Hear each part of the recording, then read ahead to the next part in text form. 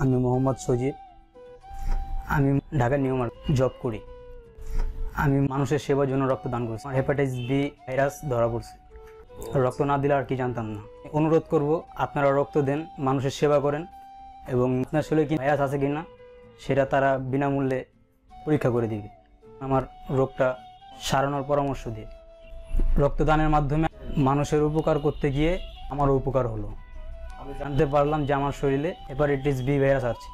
এই জন্য আমি হৃদমকে ধন্যবাদ জানাচ্ছি এবং সকলকে অনুরোধ করছি, আপনারা সুস্থ থাকুন, সচেতন হন, নিয়মিত রক্তদান করুন এবং নিজের শরীরে কোনো ভাইরাস আছে কিনা তা ফ্রি জেনে নিন।